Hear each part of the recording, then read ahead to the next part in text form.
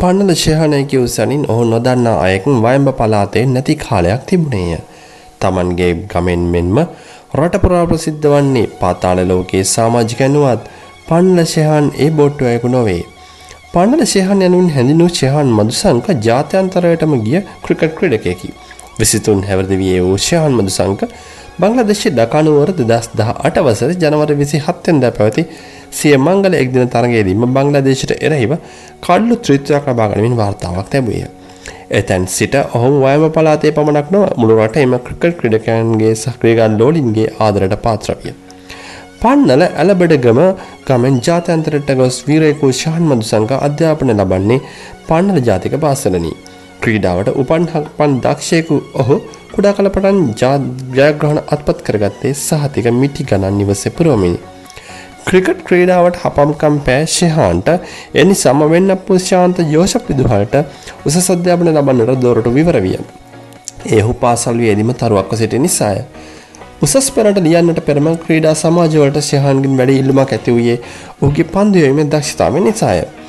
එම අවස්ථාව ලැබෙන්නට පෙර තම පුතු ක්‍රිකට් තරුවක් කරන්නට අවශ්‍ය ක්‍රීඩා භාණ්ඩ මිලදී ගැනීමට සල්ලි සොයා ගැනීමට සඳහා ශයහන්ගේ පියා වූ ජගත් පුෂ්පකුමාර වීමිටි කරගැසුවේය. ජගත් තම බිරිඳ රසිකා නිල්රුක්ෂිත් සමග ශයහානුත් ඔහුගේ බාල සොයවරන් දෙදෙනත් හදා වඩා ගත්තේ දුක් මහන්සියෙන් හෙළු දහඩිය මතනී. තම පියා වීමිටි කරගසා දුක්විඳ ඉහළට යන්නට මගහැදූ ඔස්සේ දිනෙන් දින ඉහළට යන්නට ශයහන්ට ධෛර්යය තිබේය.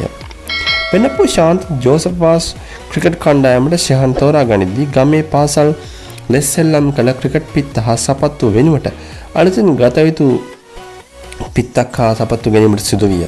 රුපියල් දහසය දහසක් වටිනා සපත්තු යුගලයක් අරන් දෙන්නට පියාට මුදල් නොතිබුණේය. ක්‍රිකට් පිත්තද දහ නවදාහකි. තම පුතා යන ගමනට ධෛර්යයක් දෙන්නට තාත්තා දහඩිය මහන්සි වැගිරුවේය.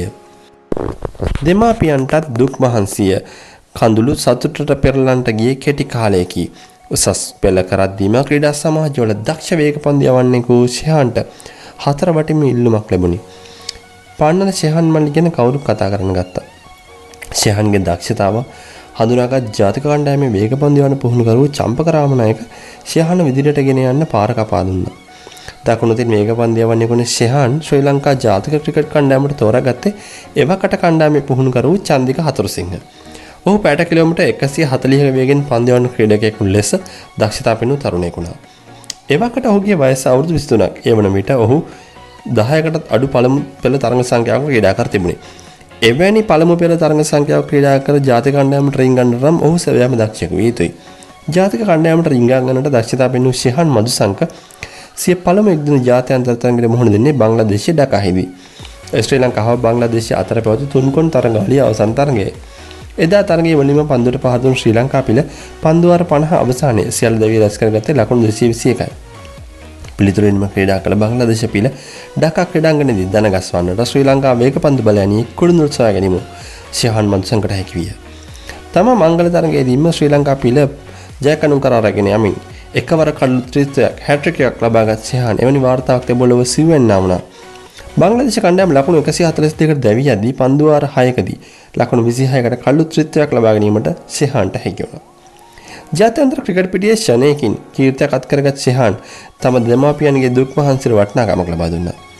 ගමෙන් බිහි සුපිරිතරුව එදා ලංකාවට එදී ඔහු පිළිගන්නට මුළු ගමේම තරඟ වීමේ මේ හැම තැනකම කට්ටිය රැස් වුණා. කෙසේ වුද පාදයේ ටිෂුවල සුදු හානිය නිසා ශෙහාන්ට ජාත්‍යන්තර තරඟ වීමේ වැඩි කාලයක් රඟ දක්වන්නට අවස්ථාවක් ලැබුණේ නැහැ. එයින් පසු ලෝකයට වෙනම රටටම අමතක වූ මේ සුපිරි ක්‍රිකට් ක්‍රීඩකයා ගැන මුළු රටම කතා කරන්න පටන් ගත්තේ පසුගිය සතියේ. ඒ පන්නන ශෙහාන් යළිත් ක්‍රිකට් පිටිට අවතර වී කපන හපන්කමක් නිසා නොවේ. ශෙහාන් මදුසංක යළිත් රටට මතක් වූයේ හෙරෝයින් සමග ඔහු අත් අඩංගුවට ගැනීම නිසා. ඉකුත් විසිතුන්ගෙන්දා සෙනසුරාදා ශෙහාන් හා ඔහුගේ මිත්‍රෙකු හෙරෝයින් සමග සැකපිට අත්අඩංගුවට ගත් බව කියන්නේ පන්නල පොලිසියයි. ඉකුත් කාලේ පන්නල කුලියපිටි ප්‍රදේශවල පාසල් සිසුන් තරුණයන් හෙරෝයින් පන්ට ඇබ්බැහි සිටින බවට පොලිසියට තොරතුරු ලැබුණා. පාසල්වල හෙරෝයින් විකුණු මුළු මුරකරුවන් දෙදෙනෙකු පොලිසි අත්තරඟට පත් වුණා. මේ හේතුවෙන් කුඩු ජාවාරම් මඩින්නට පොලිසිය මෙහෙයුම් රැසක් ක්‍රියාත්මක කර තිබුණා. දිනපතා කුඩු බොන්නට පුරුදු වන් හා කුඩු විකුණන පුද්ගලයන් වටේම පොලිසියට කොට වුණා. නමුත් කුඩු ජාවාරමේ තෝරුන් මුරුන් පොලිස් දලට අල්ලාගෙන ප්‍රසීරුණා. ඇඳරි නීති සමයේත් ප්‍රදේශයේ කූඩුවල අඩුවක් නොවුණා.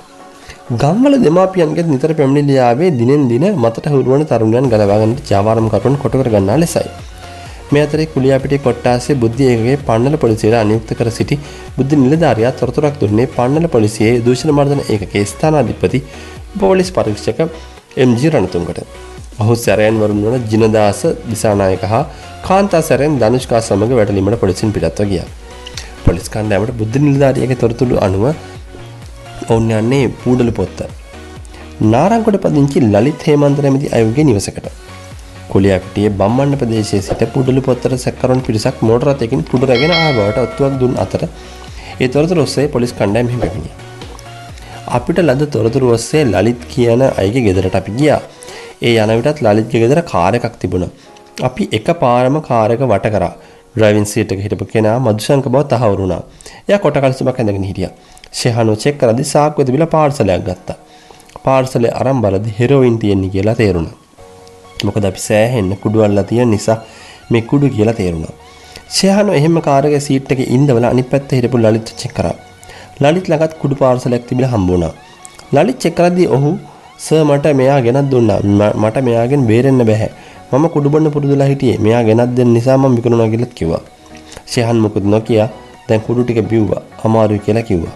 ඊට පස්සේ අපි මේ දෙන්නවත් අරගෙන රත්නබුඩු ශාප්පුවකට ආවා. එයාලා ඉදිරියේදීම එයා ළඟ තිබුණු කුඩු පාර්සල් කිරුවා. ෂෙහන් ගාව තිබුණු පාර්සලේ හෙරෝයින් ග්‍රෑම් දෙකකුත් මිලිග්‍රෑම් 700ක් තිබ්බා. ලලිත්ගේ පාර්සලේ කුඩු ග්‍රෑම් දෙකකුත් මිලිග්‍රෑම් 810කුත් තිබ්බා. ඊට පස්සේ මෙයාලා පොලිසියට අරන් ඇවිත් කුලියපිට උසාවියට ඉදිරිපත් කරා. පැටලි මෙහු නිලධාරීහු එසේ තමයි පැවසුවේ. ෂෙහාන් ගමේ තරුණයෙක් හිටියේ. එයා යාළුවොත් එක්ක බීලා පාටි දානවා කියලාත් අපි කලින් දැනගෙන හිටියා.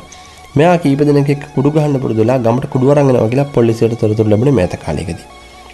අපිට දම්මින්න ඇලබටගම සූදුරුපත්ත ගමල දෙමාපියන්ගෙන් පැමිණිලි ආවා. කුඩු ගහන අය ගැන, ජාවාරම් කරන අය ගැන පොලිසියට තොරතුරු ගලාගෙන ආවා.